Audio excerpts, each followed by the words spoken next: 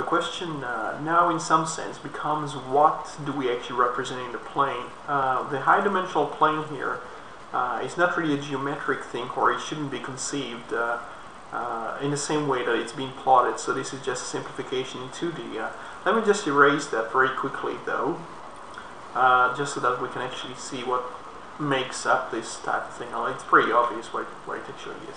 So anyway, uh, what we have is basically a, uh, a, a, bunch of vectors. Uh, we have a collection of points uh, in a high-dimensional space. Uh, each, each of these is basically a vector, so say x1, x2, okay, x2, okay, x3, and so on to xn.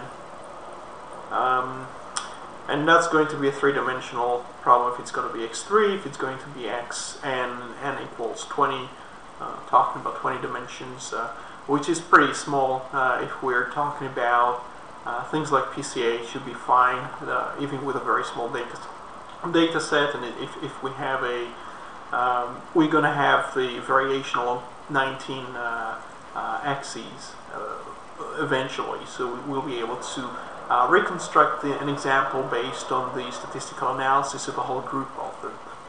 Right, so what are x anyway? Uh, in the case, uh, I did try to put this into a uh, diagram before, uh, but it's probably easier if I do it in a sort of an animated sequence and try and keep it very simple because I obviously couldn't like plot things too quickly in, anyway in this case. Uh, so x can be uh, a shape, it can be something x2, x1, x2 could just be the the xy of some shape in some direction and you could actually treat them as coordinates.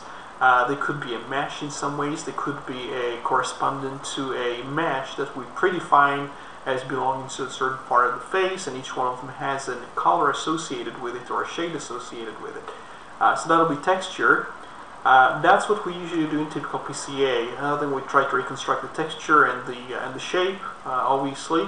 Uh, having put it in a high dimensional space, done the dimensionality reduction recursively until we reach a very small number of dimensions, and then we take the uh, principal components and reconstruct from them. So uh, in the next part, I'll try and explain what GMDS is in fact doing if it was to be treated as a, G, as a purely uh, PCA problem.